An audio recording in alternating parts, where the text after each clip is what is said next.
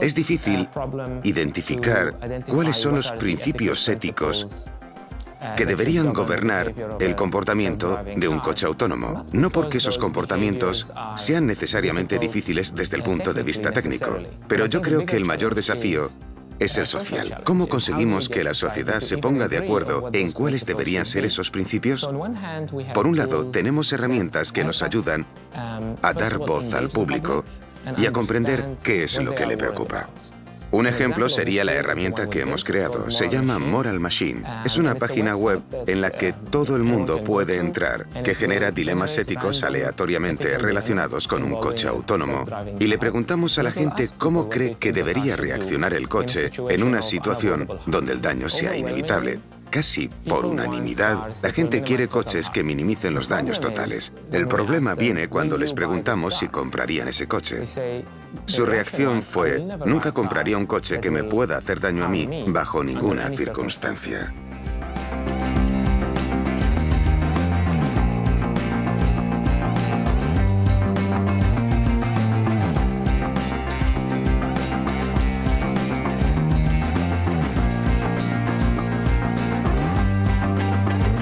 Las otras herramientas que yo creo que son importantes son las que tendrán los legisladores. Necesitamos cierta transparencia. Tradicionalmente, la gente ha propuesto, si me mostráis el código fuente, entonces habrá transparencia. Pero el problema de los algoritmos de aprendizaje automático es que aunque veas el código, no puedes saber qué es lo que hará. Un algoritmo de aprendizaje automático es simplemente eso, un algoritmo de aprendizaje. Lo que haga dependerá de lo que haya aprendido y de la información que haya utilizado para aprender. Es algo que solo se revelará a través del comportamiento. Es similar a la manera que tenemos de tratar la ética humana. No abrimos el cerebro de la gente para analizar sus neuronas y ver si son éticas. Lo que hacemos es observar su comportamiento. Y tenemos un conjunto de principios definido a través del cual juzgamos ese comportamiento. No counting narcotics, no robberies, no crimes. Jumping no crimes. Okay, and, you, and, and you've got to promise me. What is promise?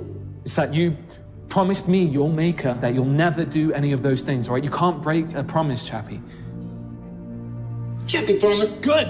Al dejar cada vez más decisiones en manos de máquinas, al mismo tiempo, debemos desarrollar también un contrato social entre la gente y los algoritmos que toman esas decisiones importantes para supervisar su comportamiento, hacerlos responsables y poder desenchufarlos si se da el caso.